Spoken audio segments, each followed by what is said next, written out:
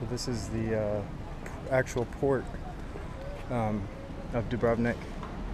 We're on the wall, um, doing the wall walk. If you look at those arches over there, that's where back in the old days they used to actually build the boats. They made all their money from shipbuilding. They were like the premier shipbuilders in the world. And uh, they would build the boats in one of those arches and then block off the other ones. The water used to come right up to the arches, and uh, when the boat was finished, I just pushed it into the water and it was done.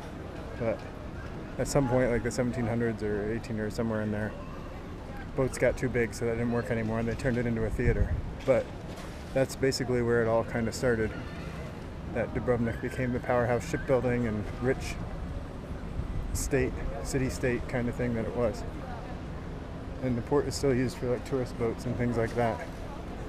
Um, there is a major cruise port on the other side of town, but this is for small boats and little uh, touristy things and glass boat tours and things like that. And there's Karen